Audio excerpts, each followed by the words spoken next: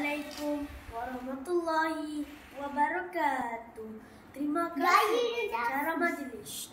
Bagi saya penelaki dan biasanya guru-guru dan rakan-rakan sekalian. Mari semua dekat padaku cerita saya. Mari dengarkan kisah encikku dan puan tu. Jadikan pengajaran dalam kehidupan. Encikku dan puan tu merasa gembira kerana telah menjumpai sebuah ladang subur dan banyak makanan. Mereka berdua ke sana, ke sini, menyedut makanan. Ah, kenyang sungguh perut saya. Makanan di sini sungguh segala enak. Kata puan tu sambil mengusap-ngusap perutnya. Puan tu berasa tibalah masanya dia bertelur. Kerana telah sampai tempohnya. Encikku berasa gembira kerana dia akan menjadi seorang ayah dengan anak yang ramai. Aina, Jangan lupa sabun, shampoo rambut semasa mandi. Itulah pesanan Ibu Aina. Setiap kali Aina hendak mandi pada waktu petang. Namun, diibaratkan masuk telinga kanan, keluar telinga kiri. Aina tidak mendengar arahan ibunya. Kadang-kala diikuti tetapi selalunya tidak. Sudah lebih dua minggu, Aina merasa kepalanya gatal-gatal. Dia ada merasakan ada benda yang bergerak-gerak. Dia selalu mengangkat kepalanya. Aduh, gatal betul kepala aku ini.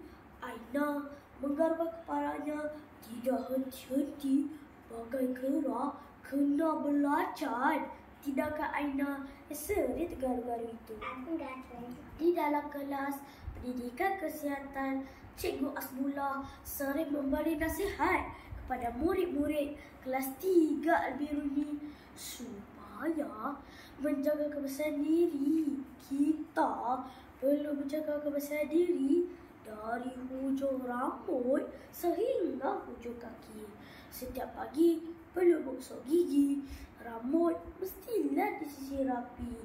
Jika sudah panjang, perlu potong supaya kemas.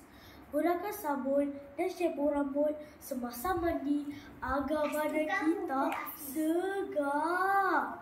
Selain itu, potong kuku yang panjang kerana di tangan kita terdapat berjuta-juta bakteria yang boleh membawa penyakit. Kawan-kawan, hendak tahu cerita seterusnya? Pada suatu malam yang gelap, sedangkan Aina berjalan-jalan di kawasan perumahannya untuk pergi ke kedai, dia telah terjumpa dengan encikku dan puan tu. Hai budak, kepala kamu kini menjadi milikku. Kepala kamu kini menjadi ladang makananku. Aina menggigil ketakutan kerana melihat gigi yang tajam mahu menggigit kepalanya. Bagai lipas kuda, dia berlari kerana encikku dan puan tu mengejarnya. Lagi laju Aina berlari, semakin laju encikku dan puan tu mengejarnya. Aina menangis terdesak-desak ketakutan. Aina, Aina, bangun. Kenapa ni? Terkejut pun Masita. Ibu Aina. Aina terbangun daripada tidur. Rupa-rupanya dia bermimpi. Dia segera memeluk ibunya sambil mengesap-ngesap air mata. Dia baring atas rimba ibunya. Ibunya membelai-belai rambut anaknya agar tidak menangis lagi. Aina pun ceritakan tentang mimpinya itu. Kawan-kawan nak tahu siapakah encikku dan puan tu? Ha, itu adalah KU, TU, Kutu. Alangkah kata peranjatnya.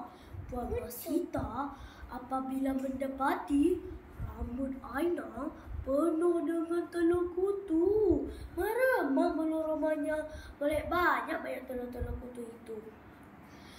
Ya kawan-kawan, kutu rambut betina mampu bertelur sekitar 24 hingga 48 jam.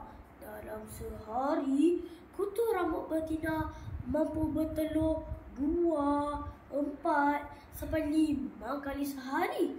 Jumlah telurnya sekitar 70 biji. Banyak bukan? Keesokan hari, Puan Masita pergi ke sebuah farmasi untuk membeli shampoo untuk membunuh kutu. Beliau meminta penerangan daripada ahli farmasi cara-cara penggunaan sebelum membelinya. Pada petang itu, Puan Masita memasuk dan menyentak kepala anaknya dengan shampoo pembunuh kutu. Ha, bukankah ibu sudah beritahu supaya menjaga kebersihan diri? Inilah akibatnya. Nasib baik kepala kamu tidak bocor gigi kutu.